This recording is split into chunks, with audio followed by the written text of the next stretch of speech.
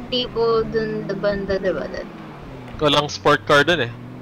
uh, There was a heavy duty and a standard. Buti nga sa'yo standard lang, madali ko maayos yun. I can easily find the parts for the for the car everywhere. pretty sure we can look around na lang sa may ano, sa may around nung church. Sport hearse. Portrait. Gag. Sport. Gag. Horseros, porteros, ganyan First, yung tunog. first nag, uh, nag, nagdi-drift-drift pa. Ganyan yung Grabe, I just eh. did the best break of my life. Bakit? Ano ginawa? Bigla ka nag-lag. Tapos Oh, tinitailgate kita. Tapos mabilis ko pero... Na light pari ko. Light pari talaga eh. Yung timing niya, light pari.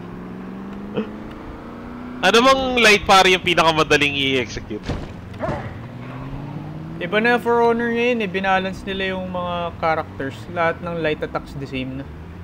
Ay, wala nang ano. So pati yung ano, may fast lights, yung mga si ano, si si Lobre, si Lo Daddy. Oo. Oh. Pero yung top light lang niya or pati yung side lights niya? Pinakamabilis pa rin nata top light niya. Pero kasi may ginawa sila sa For Honor. Oh no, no, no. Oy, oy, oy, oy, what happened? Wala, wala, nabangga, bumangga ako